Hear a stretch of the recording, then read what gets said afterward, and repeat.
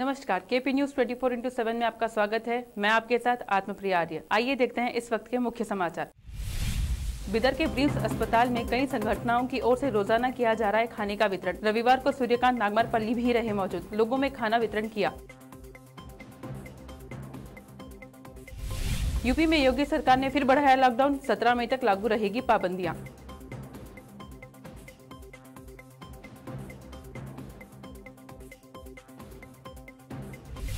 छत्तीसगढ़ में होगी शराब की होम डिलीवरी, दमन सिंह ने सरकार पर साधा निशाना।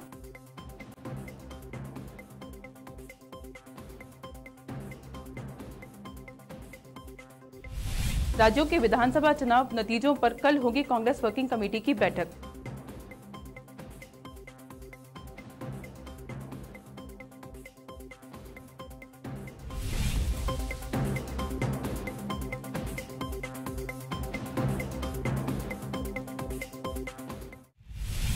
अब समाचार विस्तार से Vande Mataram international school new Jeera water Lahari developers और श्री सीमेंट की ओर से बीदर के ब्रिम्स अस्पताल में रोजाना सुबह 11 बजे से दोपहर एक बजे तक पेशेंट्स अटेंडर्स और गरीब लोगों में खाना तकसीम किया जा रहा है रविवार को सूर्यकांत नागमार पल्ली ने मुख्य अतिथि के तौर पर भाग लिया और लोगों को खाने के पैकेट तकसीम किया इस अवसर पर सूर्यकांत नागमार पल्ली ने केपी न्यूज से बात की ಜೀರಾ ವಾಟರ್ಸ್ ಕಡೆಯಿಂದ ಉಚಿತವಾಗಿ ನೀರು ಹಾಗೂ ಊಟ ಮನೆಯಲ್ಲೇ ಮಾಡಿಕೊಂಡು ತಗೊಳ್ಳಿಮ್ಮ ಮನೆಯಲ್ಲೇ ಮಾಡಿಕೊಂಡು ಅವ್ರಿಗೆ ಕೊಡ್ತಕ್ಕಂಥ ಕೆಲಸ ಒಂದು ಶುದ್ಧ ಅಡುಗೆ ಮಾಡಿಸಿ ತಂದು ಇಲ್ಲೊಂದು ಐನೂರು ನರ್ಸಸ್ಗೆ ಪೇಷಂಟ್ಸ್ಗೆ ಪೇಷಂಟ್ಸ್ ಅಟೆಂಡೆಂಟ್ಸ್ಗೆ ಊಟದೇನೋ ಅವಶ್ಯಕತೆ ಇದೆ, ಇಲ್ಲಿಂದ ಕೊಡ್ತಾ ಇದ್ವಿ ಅವರೆಲ್ಲ ಆರೋಗ್ಯವಂತರಾಗಲಿ ಅಂತೇಳಿ ಭಾಳ ಶಿಸ್ತಿನಿಂದ ಶುದ್ಧ कोरोना वायरस से निपटने के लिए दिल्ली में पिछले तीन हफ़्ते से जारी लॉकडाउन एक सप्ताह और आगे बढ़ा दिया गया है। इसके साथ ही शहर में मेट्रो सेवाएँ भी सस्पेंड कर दी गई हैं। सीएम अरविंद केजरीवाल ने आज यह घोषणा की। सीएम अरविंद केजरीवाल ने रविवार को प्रेस वार्ता करते हुए कहा कि दिल्ली में लॉकडाउन लगाने से पॉजिटिविटी रेट 35 प्रतिशत गिर कर तेईस प्रतिशत हो गया है।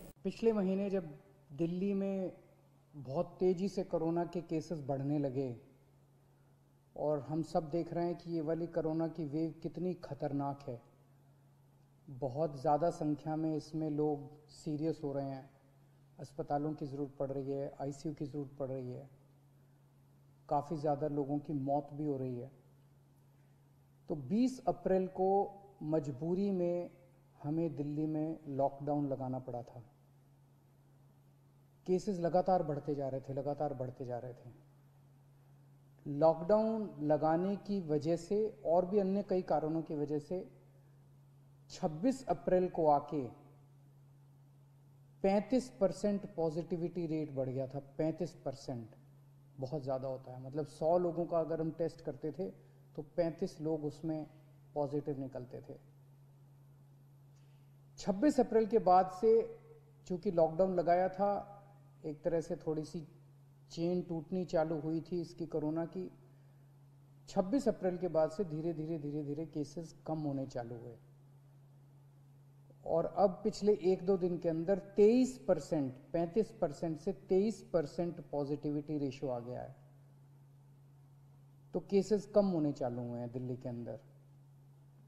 इसमें आप सब लोगों का बहुत ज़्यादा सहयोग रहा। दिल्ली के लोगों ने उत्तर प्रदेश में कोरोना वायरस संक्रमण के हालात के मद्देनजर लॉकडाउन को एक हफ़्ते के लिए और बढ़ा दिया गया है। राज्य के मुख्यमंत्री योगी आदित्यनाथ की सरकार ने प्रदेश में कोरोना के बढ़ते हुए केसेस को देखते हुए लॉकडाउन की अवधि को 17 मई तक के लिए बढ़ा दिया है। पहले सोमवार 10 मई तक ये पाबंदियाँ लागू की गई थी। सूचना विभाग के अपर मुख्य सचिव नवनीत सहगल ने बताया की प्रदेश में लागू कोरोना कर्फ्यू अब आगामी सत्रह मई तक लागू रहेगा। उन्होंने बताया कि राज्य सरकार ने यह फैसला कोविड 19 के बढ़ते मामलों पर प्रभावी अंकुश लगाने के मकसद से किया है। इस बड़ी मियाद के दौरान भी आवश्यक सेवाओं को छोड़कर बाकी सभी दुकानें और प्रतिष्ठान बंद रहेंगे। विश्व स्वास्थ्य संगठन की मुख्य वैज्ञानिक डॉक्टर सौम्या स्वामीनाथन ने भारत में कोरोना वायरस के कहर को लेकर चिंता जताई है। उन्होंने कहा है कि देश में अचानक से कोरोना के विस्फोट के पीछे सबसे बड़ी वजह है इसका नया वेरिएंट। उनके मुताबिक ये वेरिएंट ज़्यादा संक्रामक और जानलेवा है। उन्होंने कहा है की इससे बचने का एकमात्र उपाय वैक्सीनेशन है। भारत को इसमें तेज़ी लाने की ज़रूरत है। सौम्या स्वामीनाथन ने कहा की भारत में तबाही इस बात का संकेत है की कोरोना का नया वेरियंट बहुत तेज़ी ऐसी फैल रहा है। बता दें की देश में शनिवार को पहली बार एक दिन में में 4000 से ज़्यादा लोगों की मौत हुई, जबकि पिछले चार दिनों में हर रोज कोरोना के चार लाख से ज़्यादा नए केस सामने आ रहे हैं।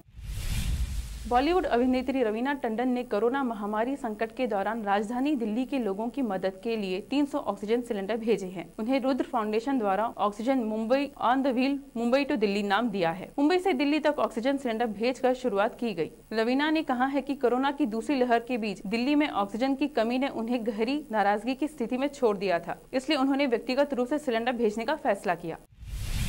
गाजियाबाद ज़िले में पिछले एक साल की अवधि में 9000 से अधिक कोरोना के मरीज़ गायब हो चुके हैं। सरकारी रिकॉर्ड में इन मरीजों का कोई पता ठिकाना नहीं है। ये मरीज़ कोरोना मुक्त हुए हैं या फिर कहीं और जाकर कोरोना के स्प्रेडर बन चुके हैं। हालाँकि स्वास्थ्य विभाग के अधिकारियों का अनुमान है कि ज़्यादातर मरीज़ प्रवासी थे। ठीक होने के बाद अपने मूल निवास चले गए। छत्तीसगढ़ के कई जिलों में 15 और 17 मई तक लॉकडाउन रहेगा। इस दौरान शराब पीने वालों को समस्या न हो, इसके लिए अब राज्य के सभी जिलों में शराब की होम डिलीवरी की जाएगी। घर के दरवाजे तक शराब पहुँचाने की इस सेवा के लिए आबकारी विभाग ने आदेश भी जारी कर दिए हैं। इसके तहत यह सुविधा 10 मई ऐसी शुरू होगी। शराब की होम डिलीवरी कराने को लेकर पूर्व मुख्यमंत्री रमन सिंह ने छत्तीसगढ़ सरकार आरोप निशाना साधा है। उन्होंने ट्वीट कर कहा है, कोरोना संकट में यह देश की पहली सरकार है जो शराब की होम डिलीवरी करेगी। आपके घर राशन, दवाई और वैक्सीन पहुँच पहुँचे या नहीं, लेकिन यह शराब ज़रूर पहुंचाएँगे। सोचिए, अस्पतालों में मरीज़ दम तोड़ रहे हैं, लेकिन इस सरकार को बस शराबियों की चिंता है। असम के नए मुख्यमंत्री के तौर पर हेमंत बिस्वा शर्मा के नाम का ऐलान कर दिया गया है। बीजेपी में कल से जारी बैठकों के दौर के बाद आज हेमंत बिस्वा शर्मा के नाम पर मोहर लगा दी गई है। बता दें कि सर्बानंद सोनावाल और हेमंत बिस्वा शर्मा को बीजेपी आलाकमान ने मीटिंग के लिए दिल्ली बुलाया था। दोनों नेताओं ने कल दिल्ली में बीजेपी अध्यक्ष जेपी नड्डा और केंद्रीय गृह मंत्री अमित शाह से मुलाकात की। अब वक्त है एक छोटे से ब्रेक का।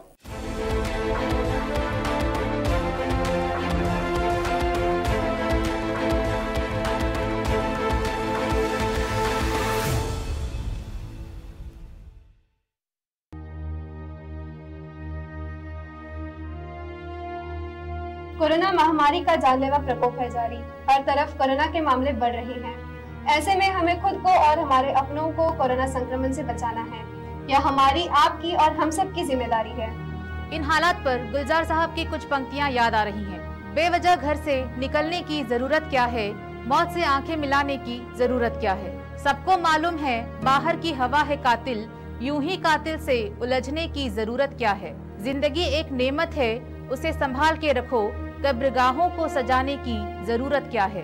दिल बहलाने के लिए घर में वजह है काफ़ी यूँ ही गलियों में भटकने की ज़रूरत क्या है? KP news 24 four into seven के परिवार की ओर से। आप सभी से विनम्र निवेदन है कि बिना कारण बाहर ना निकलिए। दो गज दूरी का पालन कीजिए मास्क सैनिटाइजर का उपयोग कीजिए और सरकार द्वारा दिए गए नियमों का पालन कीजिए। घर में रहिए सुरक्षित रहिए।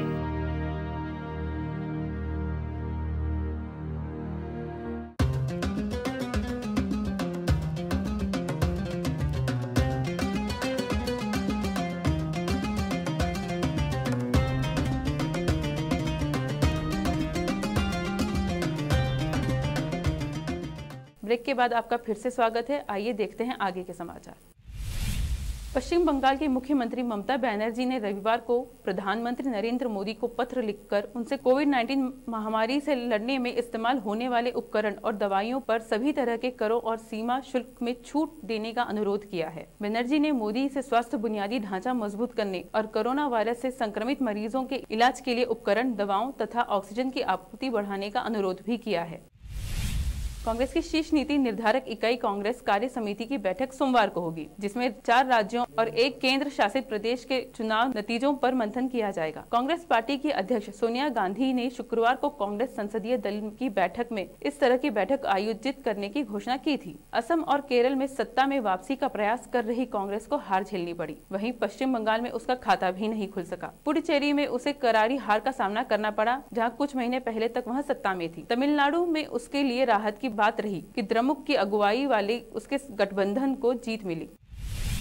आईपीएल 2021 के टलने के बाद ज़्यादातर देशों के खिलाड़ी अपने देश लौट चुके हैं, लेकिन ऑस्ट्रेलिया द्वारा लगाए गए यात्रा प्रतिबंधों के कारण उनके देश के खिलाड़ी, कोच और कमेंटेटर अपने वतन नहीं लौट पाए। ये सभी फ़िलहाल मालदीव में क्वारंटीन हैं और प्रतिबंधों के हटने का इंतज़ार कर रहे हैं। इस बीच एक रिपोर्ट सामने आई है, जिसमें ये दावा किया गया है की मालदीव में ऑस्ट्रेलियाई ओपनर डेविड वार्नर और कमेंटेटर माइकल स्टेलर के बीच हाथापाई हो गई इस रिपोर्ट के सामने आने के बाद दोनों ने अपनी चुप्पी तोड़ी। वार्नर और स्टेलर दोनों ने ही बाद में हुई झड़प से इनकार किया।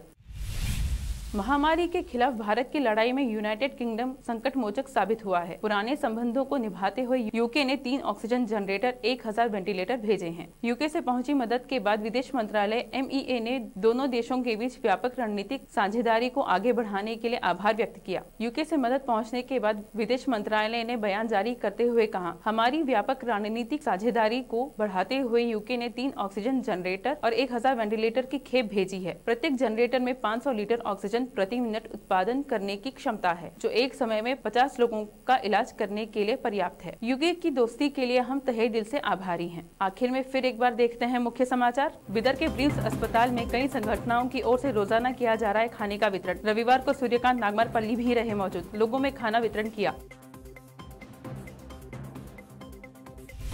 यूपी में योगी सरकार ने फिर बढ़ाया लॉकडाउन। 17 मई तक लागू रहेगी पाबंदियाँ।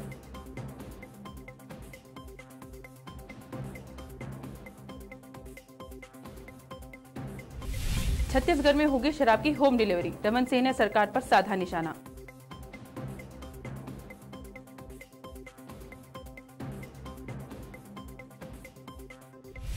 राज्यों के विधानसभा चुनाव नतीजों पर कल होगी कांग्रेस वर्किंग कमेटी की बैठक।